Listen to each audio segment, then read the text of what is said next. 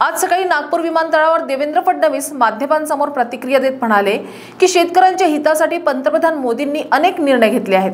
तसेच साखर कारखान्यांसाठी व ऊस उत्पादकांसाठी देखील मोदी सरकारने जितकं केलं आहे तितकं अजून कोणीही केलेलं नाही. त्यामुळे शेतकरी नेत्यांनी या गोष्टींचा विचार करावा अशी प्रतिक्रिया यावेळी देवेंद्र फडणवीस यांनी दिली.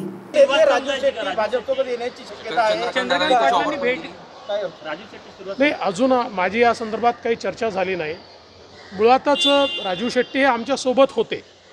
काही कारणाने ते पलीकडे गेले.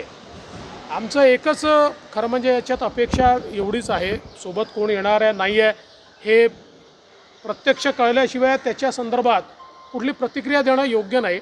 फक्त मला एकच वाटतं की जो कोणी शेतकरी नेता असेल त्यांनी जर मागच्या काळात वळून बघितलं तर जेवढे निर्णय शेतकऱ्यांच्या हिताचे माननीय मोदीजींनी घेतले तेवढे कोणीच घेतले नाही.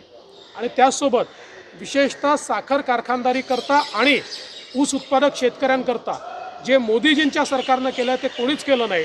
त्यामुळे मला असं वाटतं की याचा विचार प्रत्येकानेच केला पाहिजे. मात्र अद्याप माझी त्यांची कुठलीही चर्चा झालेली नाही.